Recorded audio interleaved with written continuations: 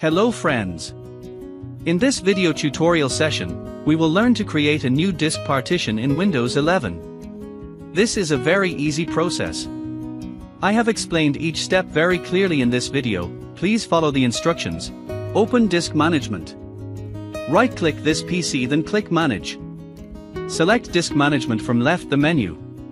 Wait for the Disk Management tool to load, displaying all your connected drives and partitions. Select the C drive. Right-click on the C drive and select Shrink Volume.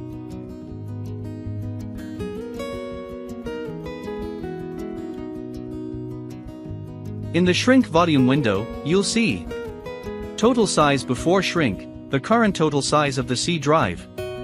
Size of available shrink space, the maximum space you can shrink without affecting existing files. Enter the amount of space to shrink, specify the amount of space you want to free up in megabytes. For example, to shrink by 200 gigabytes, enter 200,000 megabytes. Click Shrink to proceed.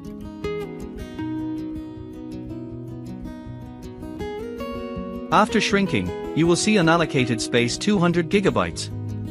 You can use this unallocated space to create a new partition or extend an existing one. Right-click on Unallocated Partition. Click New Simple Volume. Click Next. Simple volume size in megabyte. Click Next. Assign drive letter E or any. Click Next. Click Next and finish. New drive creation complete. Now formatting new drive.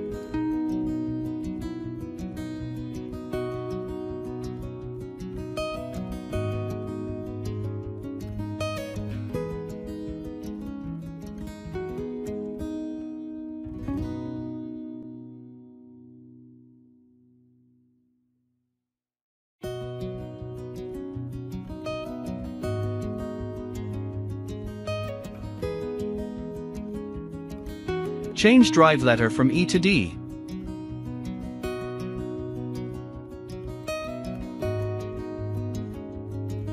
If this guide helped you, don't forget to hit the like button, and if you want more tutorials, like this be sure to subscribe to the channel. Thanks for watching and I will see you in the next video.